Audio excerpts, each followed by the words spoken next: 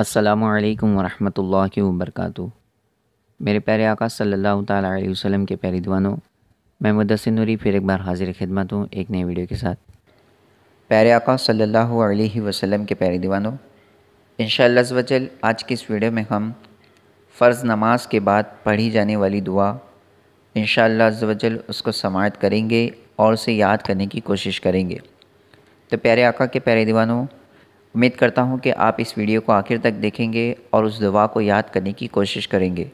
Video شروع کرنے سے پہلے آپ سے گزارش ہے کہ اگر اب تک آپ نے ہمارے چینل کو سبسکرائب نہیں کیا تو سبسکرائب کر لیں اور ساتھ ہی جو بیل آئیکن ہے اس کو بھی کلک کر لیں تاکہ ہماری ہر ویڈیو کی نوٹیفیکیشن آپ کو ملتی رہے۔ تو آئیے اس ویڈیو کو شروع کرتے ہیں۔ اللہم انت السلام ومنک السلام وإليك يرجع السلام. حينا ربنا بالسلام. وأدخلنا دار السلام.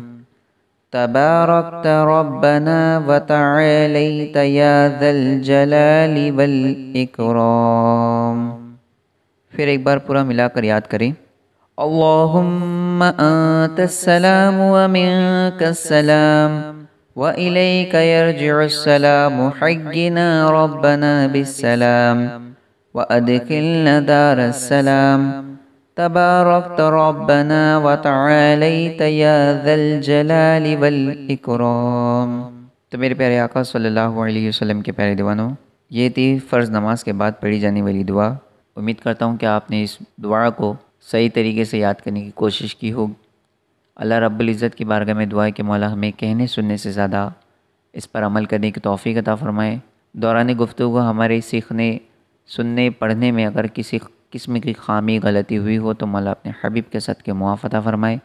پھر ملتے ہیں ایسے ہی ویڈیو کے ساتھ۔ جب تک کے لیے خدا حافظ۔ السلام علیکم ورحمۃ اللہ وبرکاتہ۔